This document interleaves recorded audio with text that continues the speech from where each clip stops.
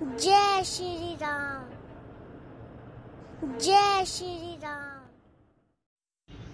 శ్రీ వెంకటేశ్వరాయ నమ. శ్రీ ఆదివరహ స్వామివారే శ్రీ వెంకటేశ్వర స్వామివారి కంటే ముందుగా తిరుమలలో వెలిసారని ఐతిహ్యములు చెబుతున్నాయి.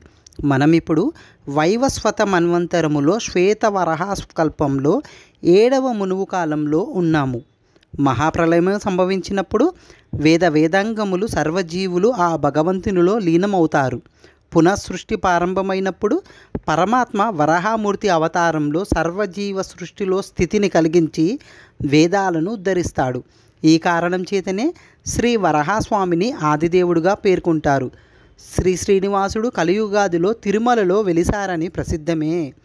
ఈ విషయాన్ని గురించి వివరంగా తెలుసుకోవాలంటే శ్రీవారి దర్శన మార్గాన్ని అనుసరించాలి. తైత్తరీయ ఉపనిషత్తులోని భృగువల్లి ప్రకారం దేహి అయిన ఆత్మ ఆధ్యాత్మిక అనుభవంలో ఐదు స్థాయిల్లో పయనిస్తాడు. అన్నమయ ప్రాణమయ మనోమయ విజ్ఞానమయ ఆనందమయ కోశములే ఆ స్థానాలు. తిరుమలకు చేరు యాత్రికుడు కొండ దిగువన గల స్వామివారి పాదతీర్థంగా భావించబడుతున్న అంటే కపిల తీర్థంలో స్నానం చేసి అన్నమయ కోశమైన దానిని దాటి కొండెక్కడానికి ప్రారంభిస్తూ ప్రాణామయ కోశంలోకి ప్రవేశిస్తాడు. మొగాలి పర్వతం ఎక్కుతూ మనోమయ కోశంలోకి ప్రవేశిస్తాడు. ఇక్కడ ఉన్న శ్రీ రామానుజుల వారి సన్నిధిలో ప్రకృతి జీవాత్మ పరమాత్మల అన్యోన్య సంబంధం గురించి భావిస్తాడు.